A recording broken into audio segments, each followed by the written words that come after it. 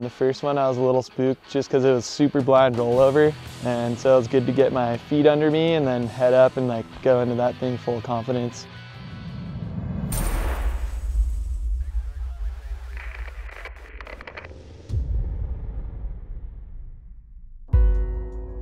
Whoa, that Rifugio is sick. Oh, this thing is rad. Inside of it, like smells of dank food. Oh. It's like wood, tables everywhere. There's a bar. I hope we get a chance to stay up here.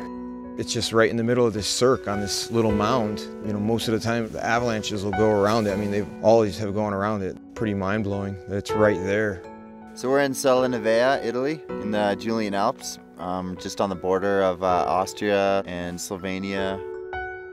We've been in Italy for about three weeks. We've been staying in this awesome rifugio and we've been staring at these spines that are all around us, 360 degrees. Luckily enough, it just went blue, perfect weather, and went off. I like the looks of that nub over there too. Yeah, Dash.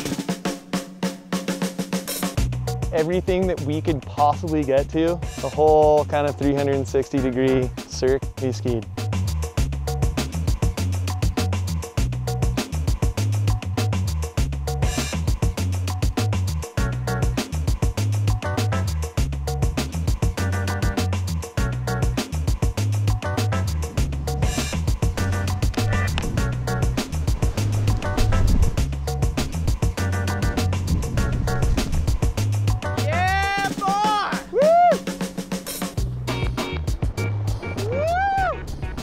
You know, the highlight of today was probably the mellowest line we skied, and me and Dash skied together, and we skied perfect powder in perfect sunlight right down to this perfect rifugio. Yeah, buddy!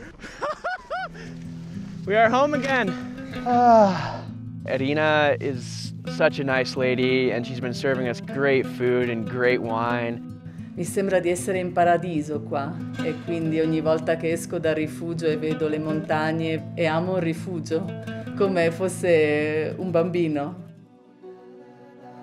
We hiked up around this ridge and I kind of cruised down and went over to this other bulge of rocks where these nice little kind of mini ear spines were and the first one I was a little spooked just because it was super blind rollover and so it was good to get my feet under me and then head up and like go into that thing full of confidence. I kind of like skied down the ridge of this little uh, bulge and then dropped in 35 foot cliff and stomp and then rode another spine on the next bench below, two in one, which was fun. We've ended up skiing from this wall over here all the way across to this thing way over there. It's just been like a almost 360 degree day of shredding. We did a 360 on the whole day. Secondo me mm, siete un gruppo bellissimo che avete portato una grande energia e penso che ci mancherete molto quando andrete via. Vi aspettiamo. We wait you another time.